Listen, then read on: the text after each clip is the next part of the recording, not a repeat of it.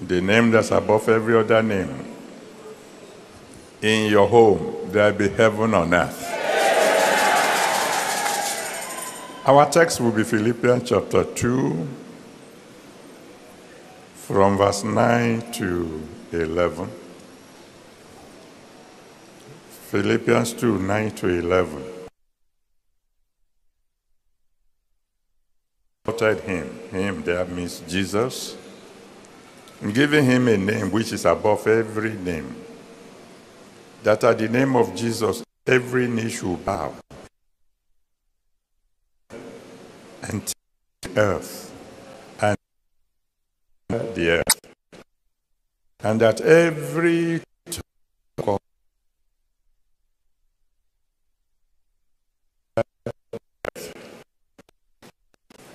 and that every and that every tongue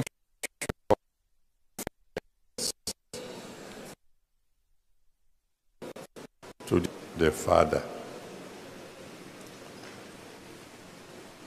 Man, by nature, is about three places heaven, earth, and hell. Three places. Hell originally, according to Matthew 25, verse 41. Verse 41. Hell was made for the devil and his angels. It's a place of punishment for the devil.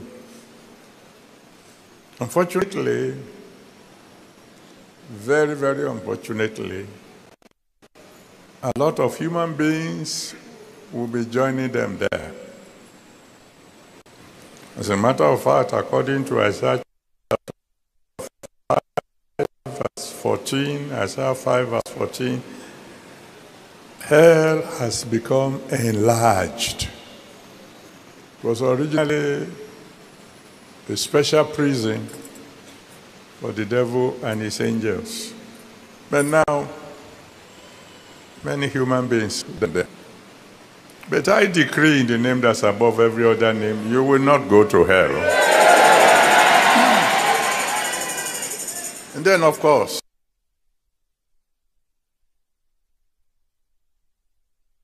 man is interested in heaven, or should be.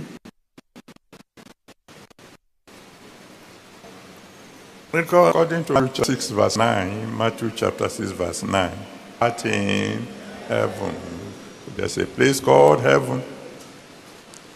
It's where our Father lives. It's what Jesus Christ referred to as my Father's house in John chapter 14 from verse 1 to 3. John 14, 1 to 3. And according to Isaiah 66 verse 1, Isaiah 66 verse 1, heaven is where the throne of God is. Everything man can ever need, God created them before creating man. He prepared everything. It will amaze you when you read Genesis chapter 2 from verse 10 to 12. Genesis 2 from verse 10 to 12. That God even made sure that there was gold in the Garden of Eden. I mean, the first time I read that passage, I said, why? I mean, when he created man, man was even naked. Man wasn't wearing clothes until they sing. So why the gold? What's the gold for? Oh, then I understand that in heaven, the streets are made of gold. Revelation 1 verse 21. Revelation 21 verse 21. The streets of heaven, they are made of gold. So maybe God is saying that, well, one of these days, Adam and Eve may say, we want to tar our roads. and he prepared the gold that they may need for it. When God made man originally, man had incredible strength. I mean, un- unbelievable strength. Genesis chapter 2, verse 15. Genesis 2, verse 15 says, God puts man in charge of the Garden of Eden to take care of it. Now, Bible scholars tell us when they describe the size of Eden, the Garden of Eden is as big as Lagos State. So to put one man in a garden that is the size of Lagos State, that man must be very, very strong. Not only that, at the very beginning, man had incredible mental ability. I mean, you read Genesis chapter 2 from verse 19 to 20, Genesis 2, verse 19 to 20, you discover that without going to any university, Adam will beat any professor of zoology. Every animal that God made, it was Adam that named. And he didn't go to school. The brain was super. He was made to be a king. Man was made to be a king. You read Genesis chapter 1 from verse 26 to 28. He was supposed to have dominion over everything, every living thing. And that's why you find that up to today, man can tame any animal lion, tiger, whatever. Man can teach them to become obedient. But then man lost it all. He lost the earth to the devil. In Genesis chapter 3, you can read it from verse 1 to the end. Genesis 3, 1 to the end. He disobeyed God, and God kicked him out of the Garden of Eden. And from that moment, Satan took over. In Genesis chapter 4, you can read it from verse 1 to 11. Genesis 4, 1 to 11. When Satan was tempting the Lord Jesus Christ, he told him, I own it all. I can't give it to you. All you need to do is bow down and worship me. Now, I, I that one as a just brief introduction. What we are interested in is how do we bring heaven back to earth for you as an individual? It's very simple. You can get heaven to operate on earth for you, all by cooperating with Jesus Christ. How? In the text that I read to you, God has given him a name that is above every other name that at the name of Jesus, every knee must bow. Of things in heaven, of things on earth, of things even underneath the earth. In other words, there is someone who is in control of heaven, control of earth, and even in control of hell. If you need heaven to intervene in your affairs on earth, all you need to do is call a name.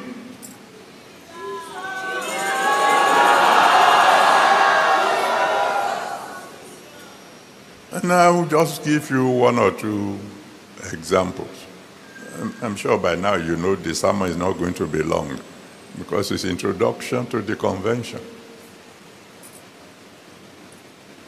If you find yourself facing a crisis on earth and you want heaven to intervene,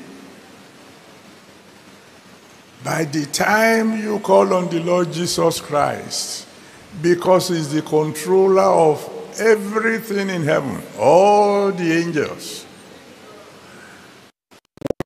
whatever He has to assist you on earth, He will do it.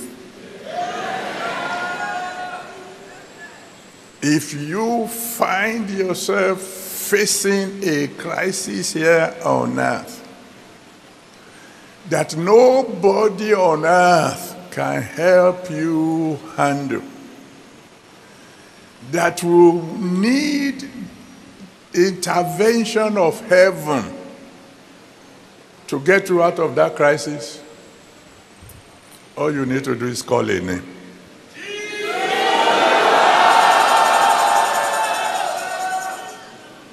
I will remind those of you who have heard this story before of a story. Those of you who have never heard it before, you hear it now. I was traveling from Ibadan to Ilorin. The driver was driving me between Ogbomoso and Ilorin. There is this. There was this bridge. I think they have expanded it now. Very narrow bridge over a very deep river. The bridge was so narrow it cannot take two vehicles at the same time. So that when you are approaching the bridge, you slow down.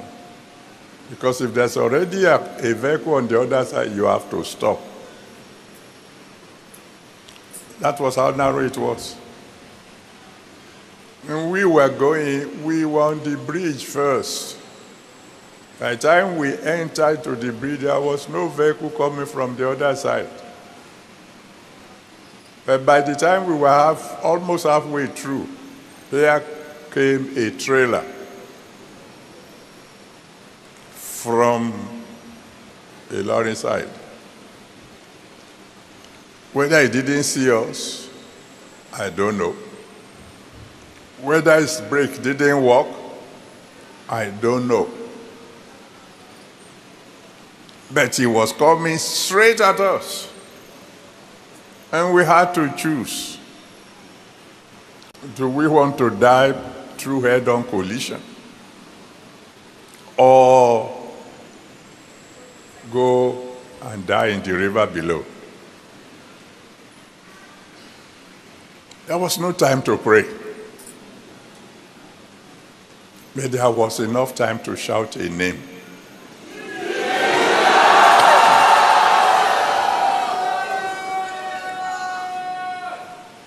You see, when you are sitting comfortably in the church, Uh, or you are having a nice time in the house, and somebody asks you to shout Jesus, you don't shout.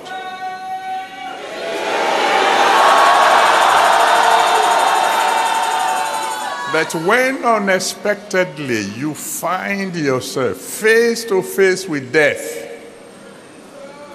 you are not a gentleman at that time.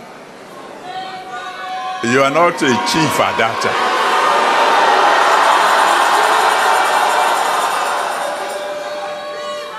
So I shouted.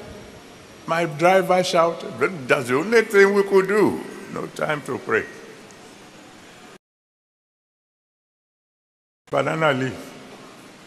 Fortunately, he didn't look back because I was shaking more than himself. By the time he could talk, I, I had cooled down. He turned to me and said, Daddy, what happened? I said, Jesus, Jesus expanded the bridge.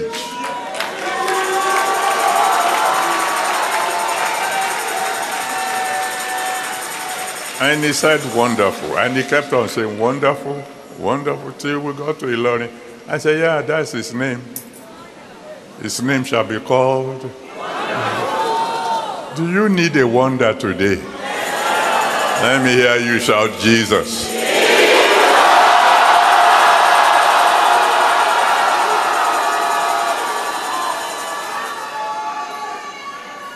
You might be on earth, minding your own business, and hell might show up to try and disrupt your life. If all of a sudden, and don't ever sit down there believing that there are no evil forces. there are. It would be a joke for you to say there's nothing called witches, nothing called wizards. Hmm. Somebody said that one on BBC some years ago. I was interviewing a Nigerian. I said, hey, you people talk about witches and wizards. There's nothing like that. The Nigerian said, thank God you are saying it in England. Come and say it in Lagos. And we will see what will happen. Don't let anybody deceive you. The spiritual controls the physical. There are forces of good, there are forces of evil. And at times you will find that either through your provocation or without, forces of darkness may want to come to attack you. Might be just because you are making progress, might be because all is well with you. In that situation, in that situation, all you need to do to bring heaven down on earth, to deal with the forces of darkness, is called a. Mm-hmm. Mm-hmm. Because this name is the name that's above every other name. Is the name that the things in heaven must bow to, things on earth must bow to, things underneath the earth must bow to. I will tell you just one story. And very soon we'll be closing. One boy got born again. I don't want to mention the name, but it doesn't matter. In Ilorin. And um, was very zealous. The mother happens to be the chief among the witches over there. Mother belonged to several cults. And when he got born again, he took all the idols, everything in the mother's house, and burnt them. The mother came back to discover that all her idol charms have been burnt, and she got very angry and went to their coven and told them, This is what my son had done. I can't kill him myself. Help me finish him. And the boy was in the house. Mama had gone. Mama says she won't be coming back that day. So the boy locked the door and windows. And uh, he was about to pray. And all of a sudden, through the locked doors, true story, through the locked door, a huge dog, black dog, covered from head to toe with charms, came through the door. Fortunately, this boy was already on his knees. He was just about to pray to go to bed. And then he lifted his, his eyes and saw the dog coming. He had enough time to shout a name.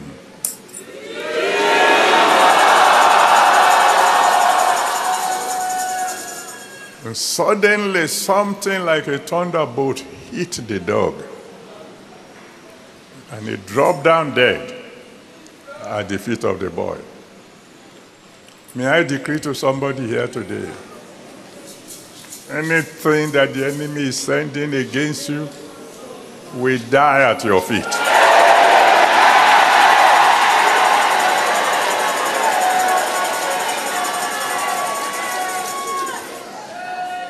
You want heaven on earth?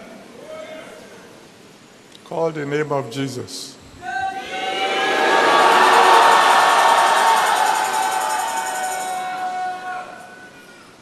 We're not talking theory. We'll be discussing heaven in detail this week by the grace of God. Don't stay at home. Come and learn. They say I tell stories. It's because I've been through a lot. I know when we talk about succeeding on earth, you need heaven. You need the angels to come and support you. You need the forces of heaven to fight your battles for you. Check the history books. It will tell you that during the Second World War, when Hitler came to bomb London, and the Royal Air Force went into the air to go and face his own bombers, it was reported, reported, that when the soldiers, when the, the, the Air Force boys looked out of their windows, they saw angels fighting with them. Fact of history. If you need serious protection, particularly at a moment of crisis, you need heaven to come to earth. And the only way to do it, call on the one who controls heaven, who controls earth, who controls earth.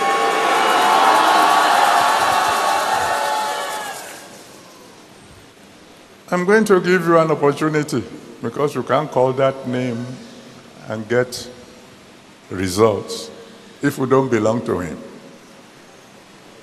When you read Acts of the Apostles, chapter 19, from verse 11 to 17, Acts 19 from 11 to 17, when some people told a demon possessed fellow, they said, The demon in you will command, get out. In the name of Jesus, the Paul preaches.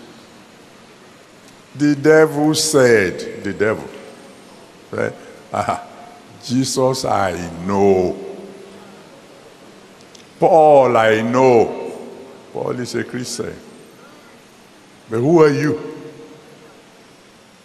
It's not just anybody who can use the name. Don't wait till you have a crisis before you surrender your life to Jesus Christ. I'll tell you one more story of somebody who went from hell all the way to heaven on earth. Great lawyer. Hmm. Again in Ilorin. You know, I was in Ilorin for a while. Very brilliant. He just kept on winning cases upon cases. And the enemy attacked him. The whole thing started as an ordinary headache. But little by little, he discovered he couldn't lift one hand, then he couldn't lift another hand, then the one leg, then another leg. He became paralyzed from neck downwards. The brain was still there, as brilliant as ever. But he couldn't even clothe himself. Then he gave his life to Jesus. Oh, we've been talking to him before, but uh, he thought that Christianity is for those of us who are not learned. When the devil grabbed him, he discovered that there's something beyond human knowledge. And he gave his life to Jesus Christ. And in a very dramatic manner, he recovered completely. He moved from hell all the way to heaven. He's alive and well today, doing well. But don't wait till you have a crisis. Because if God is not in your boat when the crisis comes, the boat will sink. So I'm appealing to those of you who might be here today and you have not yet surrendered your life to Jesus. Come and do so now. That's the only way you can bring heaven down to earth at a time of need. So I'm going to count from one to five. You want to give your life to Jesus Christ? Come now. I'm counting. One.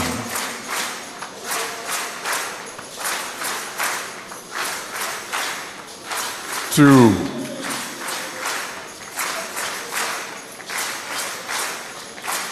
You might be the only one. Don't wait for anybody.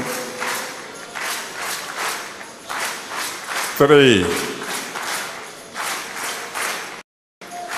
Precious sense. Having you on this platform rccg ncp tv and getting you to listen to the messages by our father and the lord pastor ea adeboye has been a great and tremendous journey and a mighty blessing on your part. We do encourage you to stay tuned with us. And in case you don't know these are crafted and cut out clips that would enable your life shaping your life to get blessed. And for those asking of the full video title sermons we trust that we get feedbacks to you, responses to you, so that you would carefully follow us on the updated part of any video that you might have been interested in, and also the title of the sermons that we have uploaded. You getting to know the title and also follow up to get the full video. It is our best interest, and we truly appreciate you for dropping your your thoughts, your opinions on the comment section box and we are doing our best to ensure that we give you a thumbs up, we give you a love, and we like your comments and also respond to your questions as time goes on. Thank you so, so much for joining us in this amazing journey of becoming like Christ.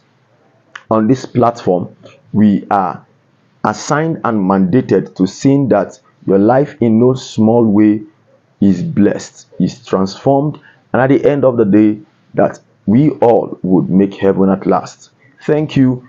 See you in our next video. If you have not subscribed, please do that by hitting the subscribe button and turning on the notification bell. This will help you to stay updated with our recent uploads, our videos, messages, and blessings prayer from our Father and the Lord, Pastor E.A. Adeboye, just like this video that you have watched.